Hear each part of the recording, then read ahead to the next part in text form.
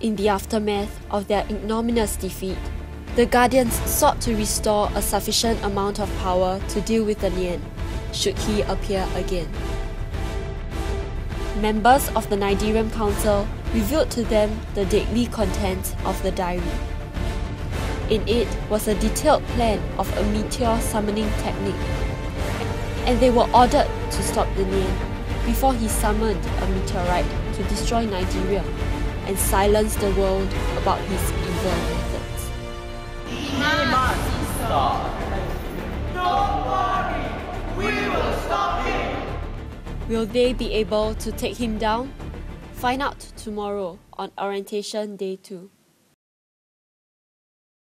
The Guardians convene once again before the Naidirem Council. The Naidirem elders showed them a glowing orb containing space credits.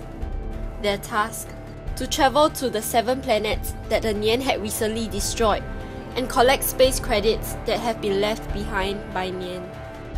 Only when sufficient space credits have been accumulated can the Council track down the whereabouts of the Nian.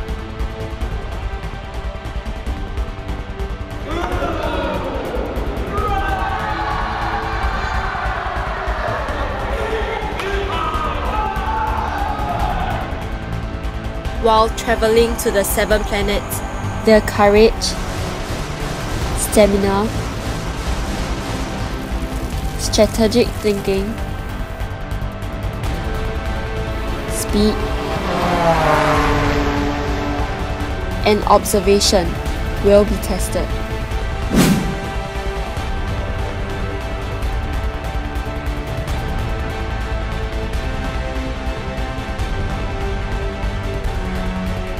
Will they be able to overcome these challenges in order to succeed?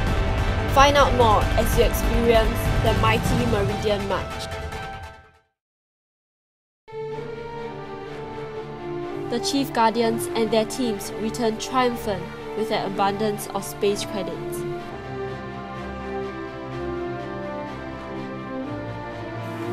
The elders were then able to unleash the spell that would help them track down Nian.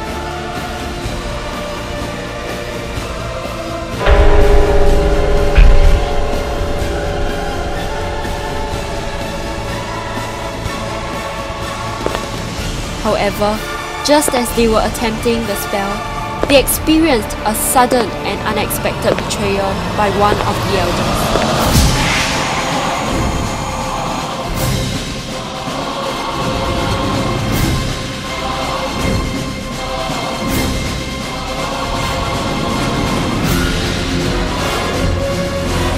He stepped forth and put on the mask.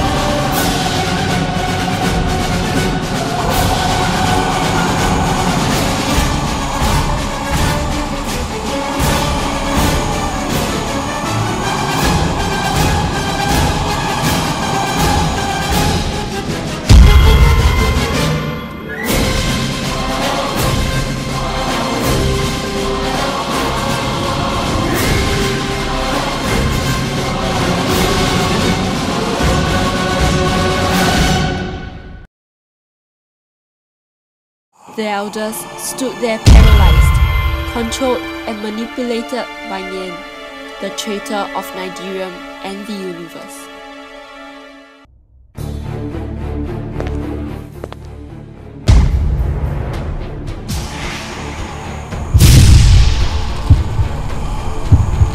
The Chief Guardians stood there helpless as they watched the Nian defeat their guardians. The odds were against them.